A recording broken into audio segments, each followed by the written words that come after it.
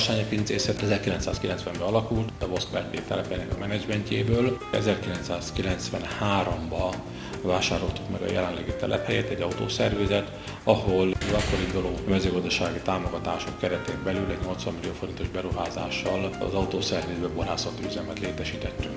A Varsányi pincészet szőlőtermesztéssel, szőlőtermesztés integrációjával, szőlőfeldolgozással, borászattal, borpalackozással, borkereskedelemmel foglalkozik.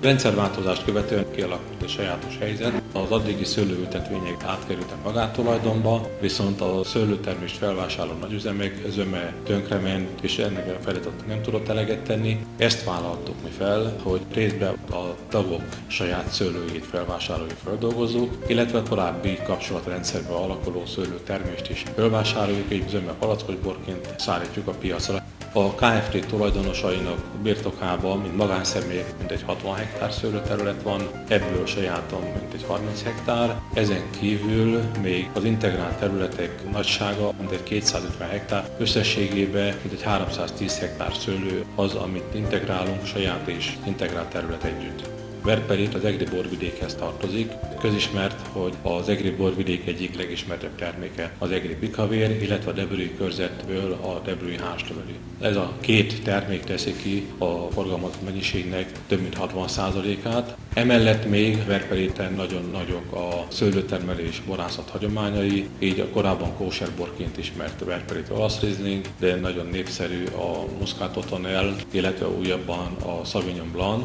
Az egyik legtöbb munkát adó termékünk a debrői házlevelű. Mindegy tíz évvel ezelőtt elkezdtük ennek a reneszánszát, megújítását, visszaadni a terméknek a régi minőségét. Ezért többek között egy tájkísérlet telepítését végeztük el 1,7 hektáron, ahol 14 házlevelű klón van telepítve. Ez most már két évbe termőre fordult. Ezt az EGRI Kutatóintézettel közösen végezzük. Ez egy házlevelű kövé, ami 14 változatból tevődik össze, ami az elmúlt két évben rendre sikeresen szerepelt hazai és nemzetközi borversenyeken is. A Debrői hárslevelű számtalan borversenyen járt eredménnyel, így a veronai borversenyeken több évben egymás követően Grand Menzione díjat kapott, országos bormostrán csúcsbor kategóriába bekerült, illetve egyik legszebb eredményünk Japánba, Tokióba nyert ezüstéren. Cannes-ba, Franciaországba, a Rozi világversenyen. Három évben egymás követően ezüstérmet értünk el, Brüsszelben és Prágában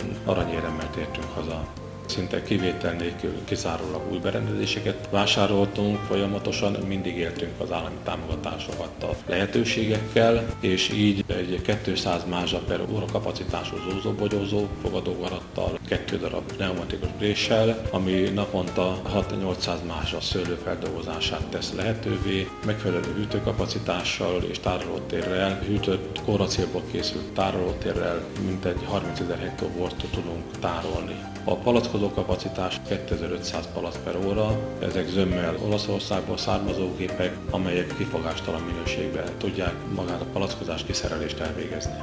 Éves szinten mintegy két és fél millió palacbort hozunk forgalomba, szinte kizárólag saját feldolgozású szőlőből. Ennek a két és fél millió palacnak mintegy kétharmada hazai piacon talál vevőre, és egyharmada exportra, elsősorban Lengyelország, Csehország, Szlovákia, de szállítunk Németországba. Ezen kívül kamiontételbe az USA-ba és Kanadába. Cégünk fő erénye az a szakembergárda, ami évtizedek óta összekovácsolódott, és amely ezeket az eredményeket elérte fiatal pályakezdő szakemberek is dolgoznak, akiknek részben a gyakorlatot igyekszünk átadni, illetve érdekével az a fiatalos lendülettel, amely erre a korosztályra jellemző a minőségborászat fejlesztése felé fordultunk. Ez azt is követeli, hogy a borainkat hosszabb időn keresztül kell érlelni, tárolni. Ehhez kötődik az, hogy nagyobb készlettel kell gazdálkodjunk, tehát a tárolóteret mindenféleképpen bővítenünk kell. A másik irány pedig az, hogy a termékek kiszerelését javítani, amihez megfelelő címkézőgépre, palackozó gépre van szükség, hogy a piaci kihívásoknak viszonylag gyorsan, rugalmasan tudjunk eleget tenni. Kevesen figyelnek arra, hogy ugyan csökken a borfogyasztás, viszont a borfogyasztás iránya jelentős mértékben minőségi borok irányába tolódik el. Ehhez nekünk nagyon jók a helyi adottságaink, nagyon jó a szőlőtermesztés kultúrája, a helyi emberek nagyon nagy szakértelemmel hozzáértéssel állítják el nagyon jó minőségű szőlőt. A jó minőségben megtermelt szőlőből lehet csak jó bort készíteni, és bízom benne, hogy a világban lezajló tendenciának megfelelően a minőségi bor fogyasztása folyamatosan növekszik, és én bízom benne, hogy a fogyasztók igényeit mi maximálisan ki tudjuk elégíteni.